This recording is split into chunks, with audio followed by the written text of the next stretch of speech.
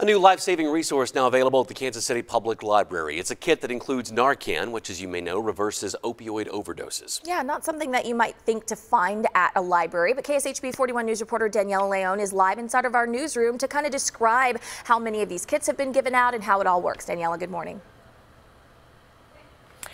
Hey, good morning, Deja and Taylor. Well, 500 of these harm reduction kits were distributed. Let's take a look at what's inside. So they include a variety of things. They include essential hygiene products like toothpaste, dental floss, fentanyl testing strips, CPR masks, along with, of course, a bottle of Narcan. Now, again, they were all distributed across all 10 library branches within the Kansas City Public Library system. And it was actually librarians and library staff who pushed for these kits.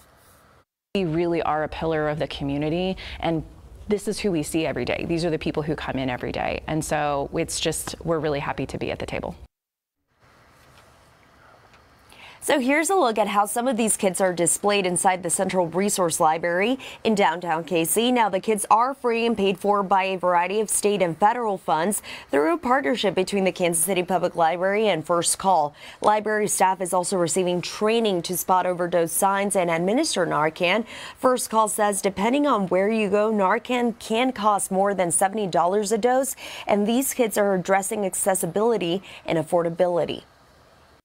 I think that the number of deaths from overdose would definitely be reduced if Narcan was more accessible. It's also about educating the community that um, any drug that you buy off the street today is potentially dangerous and could take your life. So it's also about just educating our younger population too that recreational drug use isn't necessarily just experimentation for fun anymore. It could take your life.